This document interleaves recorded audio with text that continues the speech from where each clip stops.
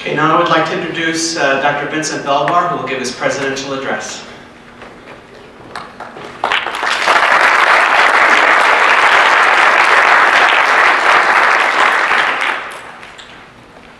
Thank you and good morning. Good morning. You do it the whole time. So this morning there are three areas I'd like to address with you today. The first relates to the serious challenges that PPA members face over the next few years. These are not just any challenges, but unique, severe, and threatening to our future. Second, I will list the steps we need to take to counteract these threats. In short, what we can do to fight back. Third, I will address what each one of you individually can do to help secure our future. This is a fight that can be won, but not if we look to others to fight for us. No, in order to secure our future, we need the active engagement of our grassroots. We need to create momentum that will propel PPA through these difficult times. And so let's begin with those threatening challenges looming before us. There are three of them. The first is healthcare reform and its many tentacles, such as Medicare reimbursement, electronic health records, CPT billing codes, DSM-5 and ICD-10. And of course, at the crux of healthcare, uh, at the crux of healthcare reform, the Patient Protection and Affordable Care Act, or commonly referred to as Obamacare. While many are overwhelmed by these changes, it is, in, it is in our best interest to understand them so that we can best serve our clients and also make a decent living. For the second year in a row at APA State Leadership Conference, healthcare reform was the central theme. It is clear that the changes coming our way will be immense and turbulent. At APA, some relied on metaphors to convey what's in store for us. There was the freight train barreling down on us. APA Executive Director Katherine Nordal called it a marathon, one in which we have no universal roadmap to guide us. And others went so far as to call healthcare reform a tsunami of change coming our way. So what does healthcare reform have in store for us? Well, there are two certainties, hope and change. The, the Affordable Care Act will extend coverage to many more people, and that coverage requires mental health services not only be available, but thanks to the federal parity law, that mental health coverage be on par with primary care services. These days, there are more questions than answers. For example, will Governor Corbett sign on to the uh, Medicaid expansion? How will service delivery change in the future? To what extent will, will insurers bring back capitation?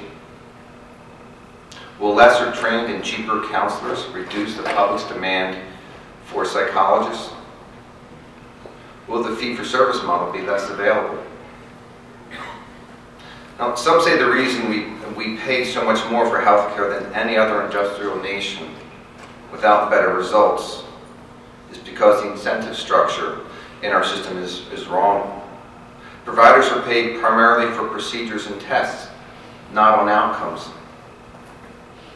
Healthcare overhaul tends to flip this fee-for-services system to one where insurers or the government pays providers to keep patients healthy. The goal is to have providers reimbursed more for the value of their services than the volume. For psychologists, this approach raises the difficult question of how to quantify value in a field where outcomes are extremely difficult to measure. Psychologists need more information to help them make decisions about how they will practice in the future. Until now, most of us have felt uh, that dealing with insurers is a little, little like uh, the following video.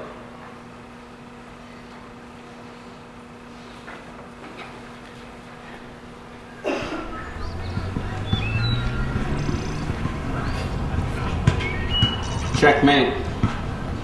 Insurance company rules. What's that? Americans are taking notice. There's two ways to go through life. You can play by the rules. Or you can follow insurance company rules. I call insurance company rules. Or you can do whatever the hell you want. Let it change your tennis game. I love insurance rules. Insurance companies rewrite the rules as they go along to win every time. Why shouldn't you? Blitz! I talk throwing stars. Insurance company rules are a fun alternative to the social contract. Throwing stars? You don't know insurance company rules? No. Oh, they're so sweet. I get to change the rules whenever I want, however I want. Oh, I know. So we were playing tennis, and now you're using ninja weapons. This isn't a ninja weapon. Come on, I call staple guns. Company rules. Though some might object, they'll change the way you play poker. Four aces. I got nunchucks. Insurance company rules. Why fight fair when you can use nunchucks? Insurance company rules not valid in pretty much every other industrialized country. Not recommended for the sick, the about to be sick, or anyone who will ever get any older than they are right now. Insurance company rules not compatible with healthcare for America now. Which side are you on?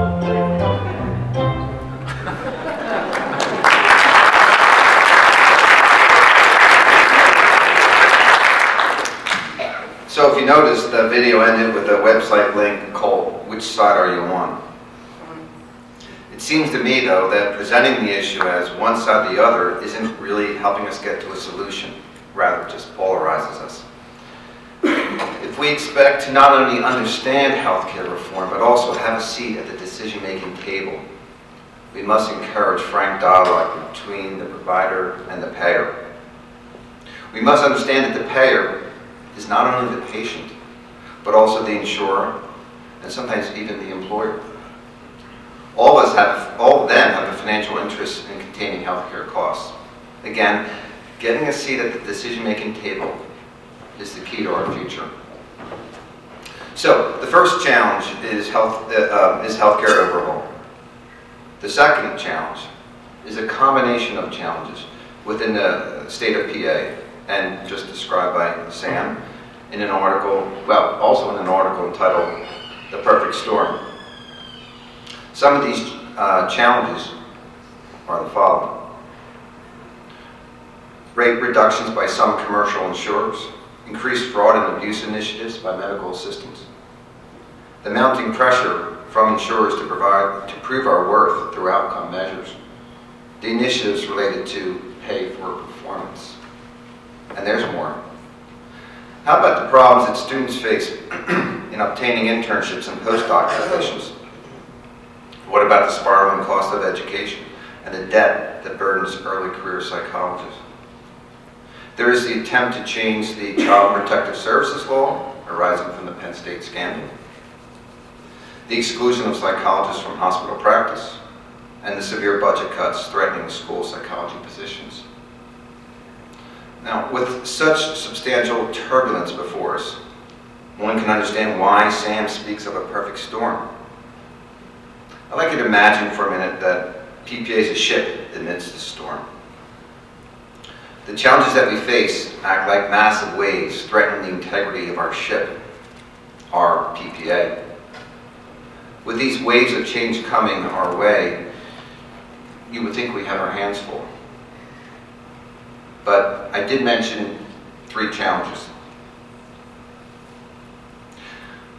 When there is a storm at sea, the ship needs a good captain and crew to get her to safety. Without a seasoned captain and crew, that ship could be in trouble. Well, after serving our association for 26 years, Tom DeWall is retiring. 26 years is a long time.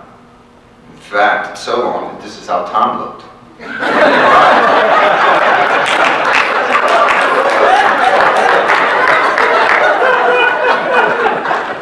Even that was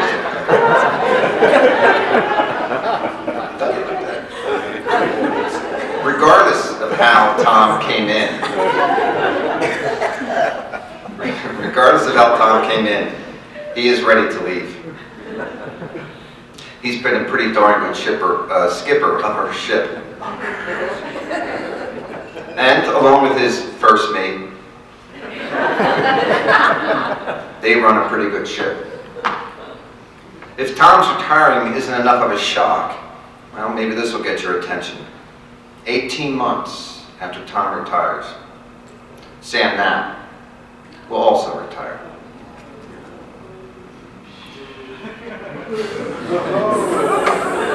Now add to that, add to that the likely retirement of, of some other PPA crew, we're getting up there.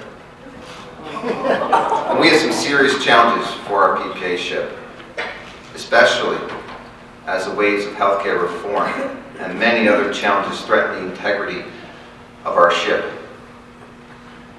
And so perhaps the perfect storm metaphor fits. If so, our ship needs to gain momentum to propel itself through the waves of change. The good news is that our ship, our ship's momentum comes from its members, comes from you. With the right momentum, we can ride through any storm. So here's how we're going to do it. There are four action steps that will propel our PPA ship through the stormy seas. The first is to address our leadership transition, and we have been doing this for the last year. When Dr. Palmiter asked me to chair the Succession Development Task Force, the first thing I did was contact four other state psych associations who recently went through similar leadership transitions. I figured, why recreate the wheel? Learn from them and do it better. And indeed we have. I'd like to thank those who have served on the task force. Doctors Judy Blau, Rex Gatto, Mark Linda Knauss, Bruce Mapes, Don McAleer, David Palmiter, Jeff Pincus, Diane Salter, and Emily Stevick. One year ago, we engaged in a national search and received over 120 resumes.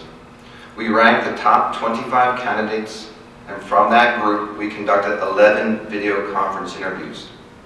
We distilled the top five candidates, gave them a battery of executive assessments, and then brought them into Harrisburg to meet PPA staff and interview with our search team. So from this comprehensive search, we have found PPA's next captain. It is with great pride that I introduce to you Ms. Krista Paternoster. I've asked Krista to come up and say a few words, but first let me tell you a little about her. A graduate of Penn State University in 1992, she brings over 20 years of nonprofit organization management to PPA. She has progressed steadily up the association leadership ladder, including positions as COO of the Pittsburgh Technology Council, CEO of the Military Operations Research Society, and COO of the Logistics Officer Association. Her resume and references speak to her ability to connect with all generations of membership, from those in her 20s to those in retirement. She has displayed excellent leadership skills in steering associations through changing and challenging times. Now, while today is indeed the longest day of the year, and I could spend a lot more time talking about her accomplishments, how about if you meet her directly? So I introduce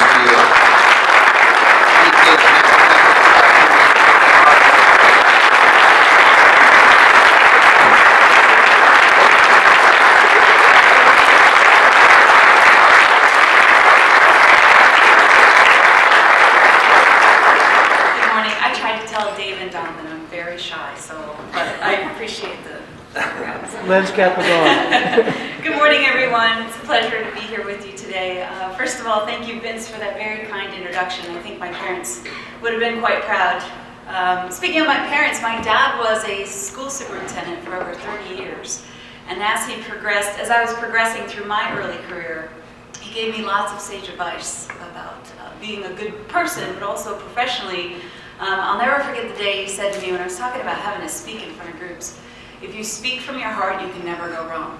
So I had actually prepared remarks today to share with you, but I decided after having a chance to meet some of you and talk with a lot of you in this room over the last three days, I would just forego those remarks and try to speak from my heart. So I just wanted to say thank you all uh, for such a warm welcome. Um, for those of you I haven't had a chance to meet yet, I definitely look forward to that opportunity to hearing your thoughts and ideas about the future of PPA. You're an important part of the team, and I want to make sure that we have uh, a good rapport and we can talk about how we're going to steer this ship in the future. Um, certainly am thrilled by the opportunity to be the next executive director, understanding the huge shoes that I have to fill. I actually wrote that on Tom's uh, retirement card, so I certainly understand that. And after hearing him speak this morning, I know that those shoes growing. Um, it's such a wonderful tenure that Along with my nose. But I just wanted to take just one moment to share with you three goals that I have for the organization moving forward, um, and understanding there's still a lot to learn. Um, the first goal is to actually leverage our current organizational strengths to build a, a, a solid um, and strategic organizational plan for the future. We're actually kicking off a strategic session this afternoon. I look forward to seeing where our collective minds can lead us in the future. Secondly, we want to enhance the organization's effectiveness by creating a technology infrastructure that increases opportunities for collaboration and communication amongst our members and our stakeholders and our organizational leaders. I think that's really going to be a critical goal for us moving forward. And finally, we want to continue to offer relevant and vibrant, valuable membership programs and services that, that keep pace with the changing professional environment. So I look forward to having you all help us achieve those goals. Uh, before I close, I already mentioned Tom. I wanted to offer my congratulations to you and salute you for your years of dedicated service uh, to PPA. I'm also very fortunate that Tom has built a wonderful staff team that I have a chance to grow with and learn from in the future. Um, I made two mental notes as you were speaking though this morning that, you know, obviously just come off the top of my head. The first was, don't mess this up. That's a note to myself. and the second, and this is a real one, um, I want to talk to you about the 2014 budget. We need to make sure there's a building maintenance line. Sinkholes, bugs, power tools, not my thing. So, Congratulations, and thank you for the opportunity.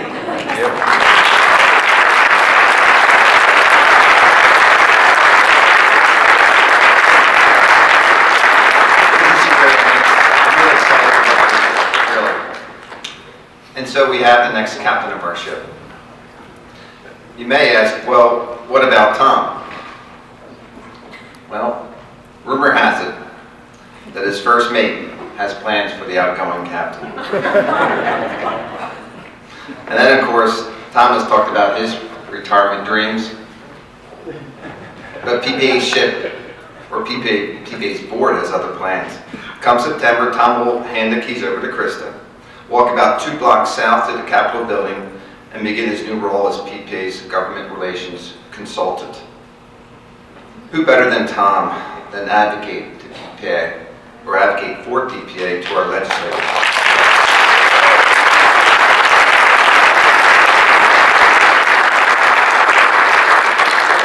In addition to this role, Tom has graciously agreed to remain readily available to Krista as consultant, just a phone call away. Now, succession development doesn't stop here. As PPA president, I will facilitate the successful transition of our new executive director and the positive working relationship between the captain and crew. After all, we can't propel our ship forward if the captain and crew are not in sync. Granted, it'll be different than the way it used to be. But as noted, change is coming, and we need to be ready. In addition, in about six months, a new succession development task force will begin to address the retirement of Sam Knapp. I've asked President-elect Bruce Mapes to assist me as co-chair of that new task force. Finding the next Sam brings unique challenges. After all, there is only one Sam. Nevertheless, the terrific, uh, given the terrific job that the current task force performed and given the wealth of experience and talent that Krista brings, I have full confidence that we will be successful. So as succession development evolves, we turn to action step two. Every ship, especially in stormy seas, needs a good compass. Our compass is the strategic plan, last revised in March 2008. It's now time to recalibrate our compass. The plan, which is on our website for you to read, describes PPA's vision and mission, and then lists specific, specific strategies we use to get there. Now, vision, the first part of the plan, is like standing on a mountaintop, looking out in the distance, pointing to a spot far away and saying, we want to go there. Our vision states, PPA is a member-driven organization dedicated to promoting and advancing psychology in Pennsylvania, advocating for public access to psychological services, and enhancing multiple dimensions of human welfare while supporting the development of competent and ethical psychologists. Our mission, along with strategic actions, is the description of how we're going to get there specifically. Our mission states to educate, update, and inform the public and our membership on cutting-edge psychological theory and practice through training activities and public policy initiatives. Because our strategic plan is the compass that guides our ship, every PPA member should know who's involved with calibrating it.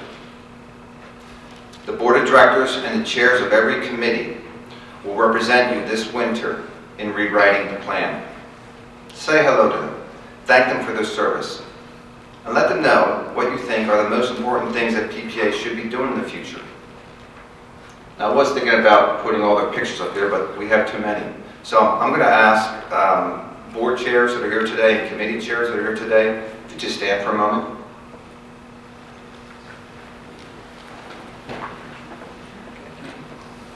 Thank you. We have plenty more.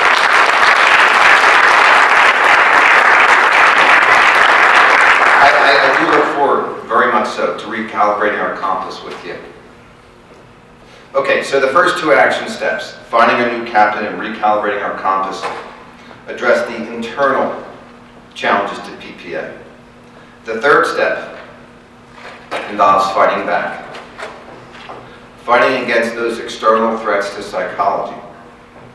Now, while there are many threats, none has been more insidious, more destructive to the morale of psychologists than the long, slow, painful decline in third-party reimbursements. Rate reductions come in two ways. One is the outright slashing of rates, as we have recently experienced by some payers. The other is the refusal to increase rates at least commensurate with the rate of inflation. Both method, methods have served to erode our industry. Let me stop right here and caution you that we, we cannot talk directly about taking action to influence rates.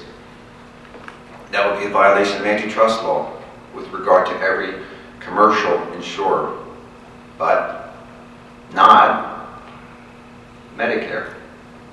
We could talk all day long about taking unified action against declining Medicare rates. You see, APA has studied the formula for Medicare um, to determine rates for the various uh, healthcare professions. This complex formula is called the Resource-Based Relative Value Scale. Psychologists have experienced a 39% reduction in rates over the last 10 years when inflation is considered. 39%. APA believes this dramatic reduction is due to the unfair application of this RVS formula to psychological services. While most healthcare practitioners have experienced Medicare rate cuts, the RVS formula creates disproportionately more severe rate decreases for psychologists compared to other healthcare professionals. Let me say it again. So the RVS formula creates disproportionately more severe rate decreases for us compared to other healthcare professionals.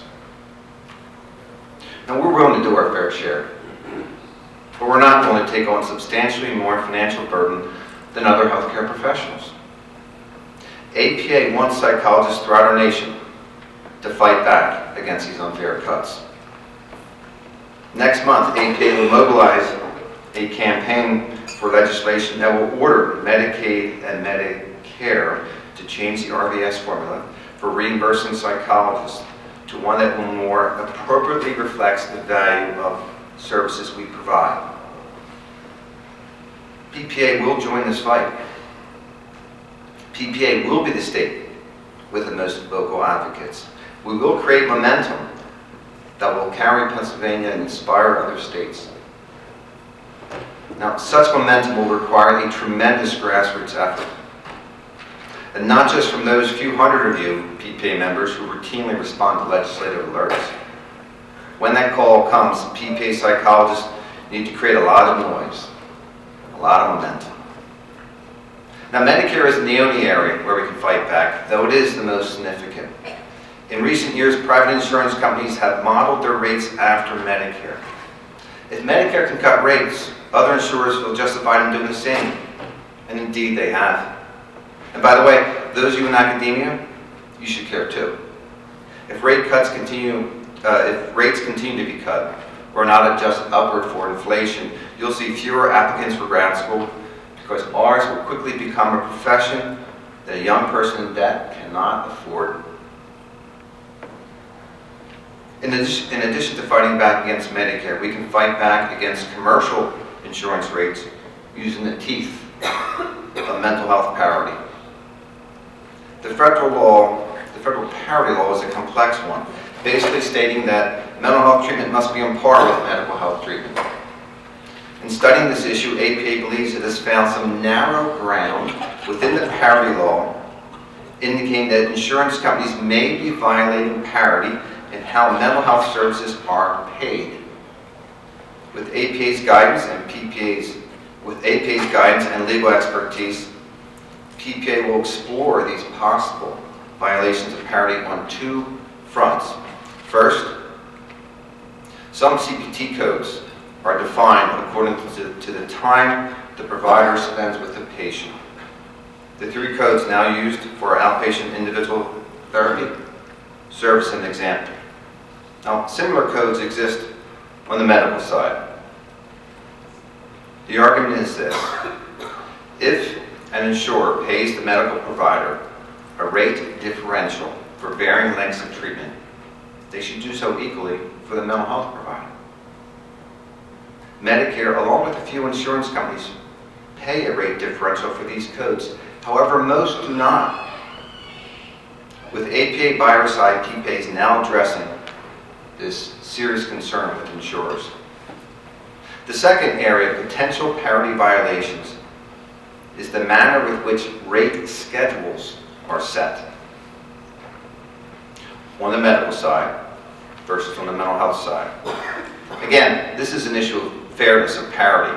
It's not an issue of money. Rather, it's an issue of confronting and stopping the discrimination toward mental health patients. When insurers allow for reimbursement rate increases on the medical side, but not on the mental health side, we believe this may constitute a parity violation. Now, I should caution you, this is a relatively new area of exploration with a small window of opportunity. Nevertheless, we hope great things will come of it. Starting immediately, I will make it a priority that PPA aggressively pursues these potential parity violations, as well as advocating for federal legislation regarding the changes in Medicare rates. We're not going to take this, these threats to our livelihood sitting down. We're going to fight back. To fight back effectively, we need momentum. And that brings me to the fourth step, an action that's absolutely necessary to propel the PPA ship forward. We must create our own force of change. And as I describe the fourth action step, I ask you this. Where are you going to be as the waves of the perfect storm hit? Will you be out there alone when you're bored, trying to navigate the waves on your own? Or will you join us on the PPA ship? This is our ship, our PPA. True, sometimes we are at the party boat, like Wednesday night's evening celebration with Tom, last night's poker game, right Mark? Tonight's ECP reception, and the dance, and by the way, we have a great band.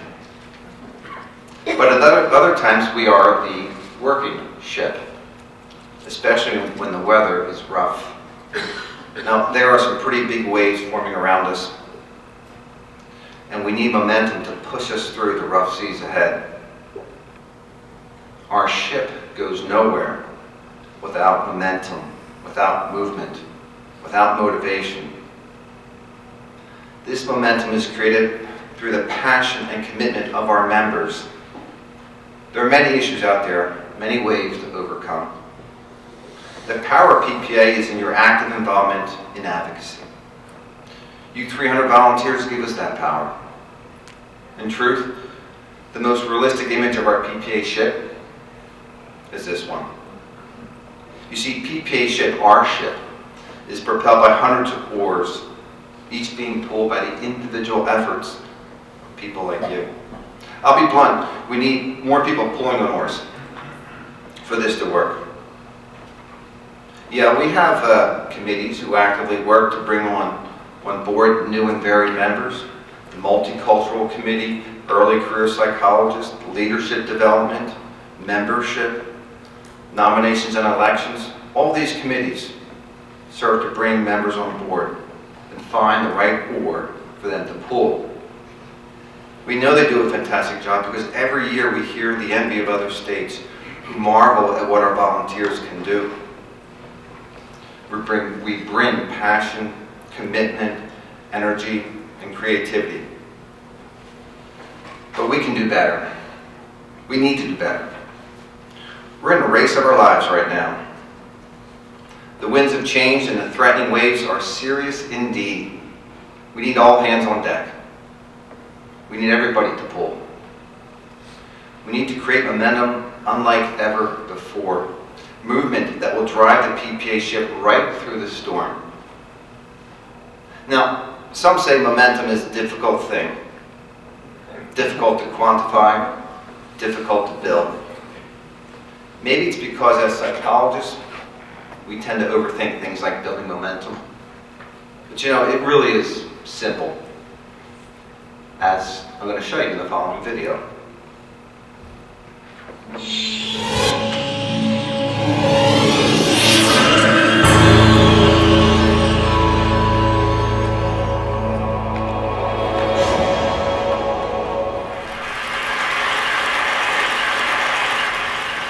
Gentlemen, at TED we talk a lot about leadership and how to make a movement. So let's watch a movement happen, start to finish, in under three minutes and dissect some lessons from it.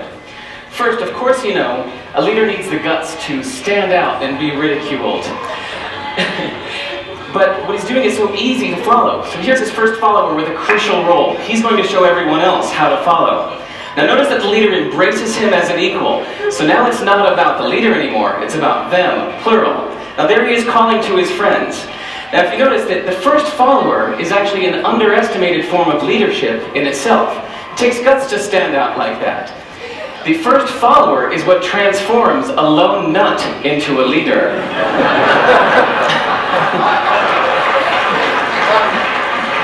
and here comes a second follower. Now it's not a lone nut, it's not two nuts, three is a crowd, and the crowd is news. So a movement must be public.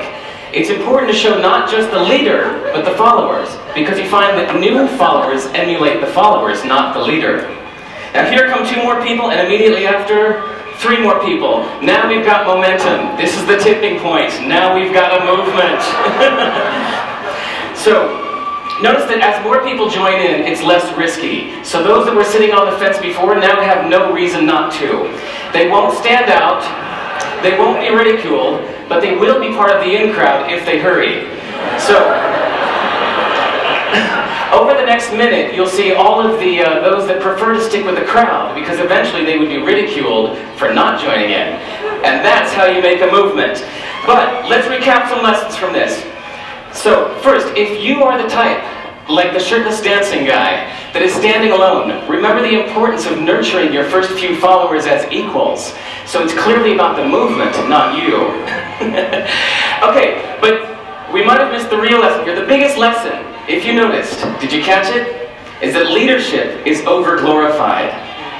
That yes, it was the shirtless guy who was first, and he'll get all the credit, but it was really the first follower that transformed the lone nut into a leader. So as we're told that we should all be leaders, that would be really ineffective. If you really care about starting a movement, have the courage to follow and show others how to follow. And when you find a lone nut doing something great, have the guts to be the first one to stand up and join in. And what a perfect place to do that, TED. Thanks.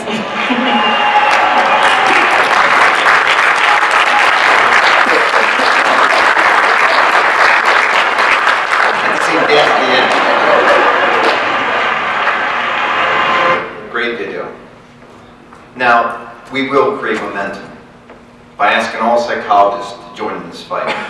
There are three ways each of us individually can add to the movement. First, find someone who is not a member and recruit them into PPA. Bring them on board the ship. Second, join a PPA committee and or find some PPA work to do. After all, PPA is not a cruise ship, but a working one. Become an active versus passive passenger. Pull an oar, even for a little while. Third, seek a significant role in the ship. We need committee chairs, board chairs, and officers who are inspired to make a change. Let's mentor each other into leadership roles. Remember, the biggest lesson we take from that last vi video is that leadership is indeed overglorified. If you really care about where the PPA ship moves, have the courage to follow and show others how to follow. And when you find that lone nut doing something great, have the guts to be the first one to stand up and join in. Come on board. Grab an oar. I promise you, it'll be one heck of a ride. Thank you.